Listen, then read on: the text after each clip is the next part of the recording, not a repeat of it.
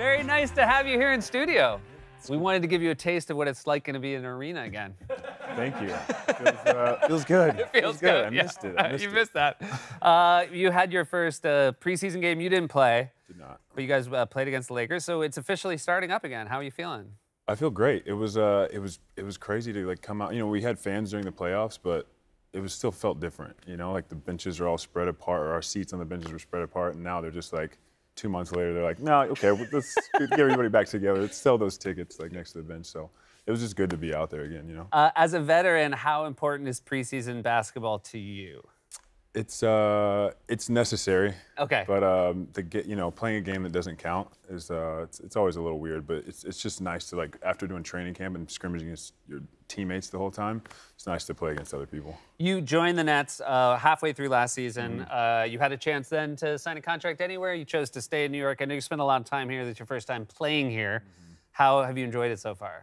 Uh, it was great, man. It was it was nice to I, you know I had that that stint last year and, and really got to know the organization. You never really know until you actually spend time there, and top to bottom, everybody in the organization is, is incredible, from the owners down to to the players, the staff, everything. So um, that was that was a reason. Also, the fans here in New York are unbelievable. Um, so it, it was a, it was a no brainer for me. So it's kind of crazy the level of talent and fame on this team. Uh, Kyrie, Durant, Harden, yourself.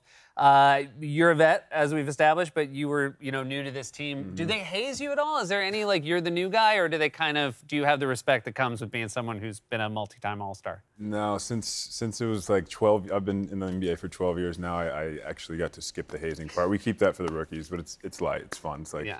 carry a Dora the Explorer backpack. That's what I had to do. Or When you were a rookie, you had to carry a Dora the Explorer backpack. everywhere we went, I carried a pink Dora the Explorer backpack into the arena, hotels, but everywhere. Um, so that, that's that's the type of stuff we do. I would all- imagine. I I'm surprised there was one that would even fit on your back. Well, you, you undo the strap all the way. Okay, and you just you throw it on one shoulder, and I would always just put one shoe in there. All right, gotcha. Yeah, I would imagine that's about all you could fit. Uh, one thing I also want to ask about being a 12 year vet is you get to know the referees. Um, and you, uh, you sort of have a reputation for someone who's like uh, going to talk a little trash to the refs. Uh, but there are times we've seen you actually laugh at what a ref has said back to you. What's happening in those moments?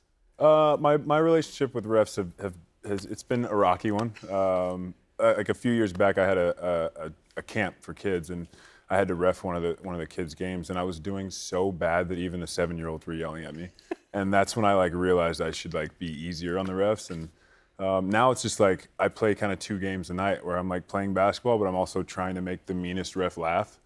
So I'm just working out ref-based puns, you know, before the game like the you know watching film, but also going over some jokes. Um, but it's I don't know. It's it's it's great. It's, they have such a hard job, such a hard job. Every no matter what, somebody's gonna hate you. Half the half the audience is gonna hate you. So Yeah, and I would imagine too, again, having to basically police people who are beloved and famous is a really tough job to have. it uh it, it can't be easy. And and the the best ones, man, are the ones where like if they like mess up, they're like I I messed up that one because it's like it's all happening so fast. And they're just trying their best. And um, if you, any of you refs are watching, uh, I'm so sorry. I will try to do better this season, but you know we all mess up. I like that you uh, you realized it refing a camp Mm-hmm. because I went after I left. I went and I hosted SNL, and hosting SNL, I immediately had. I felt like I wanted to go back to all the hosts that I had worked with over the years and apologize to them because anytime a host didn't want to do something Mm. that we wrote for them. I thought you don't know, and then I went back and I'm like, oh no, they knew. Yeah, yeah. That's uh, that's that's basically my relationship with the refs in a nutshell. you guys get to tip off against the Bucks, uh, Mm-hmm. the world champs. Does it make it a little more exciting? I mean, obviously it's a long season and you can't get too high or low, I would imagine, for specific games. But does opening night have an extra element of excitement when you do something like that? Uh, yeah, it is. It, it, opening night is always just fun, just because it's just just the start of a new season. You don't know where you're going to go. Also, playing the defending champions, it kind of sucks because you have to sit there and watch them get their rings. um, so it's you know, it's it's it, there's that aspect, but you know they deserved it. They they grueling season last season and came out on top. So uh, it'll be it'll be fun.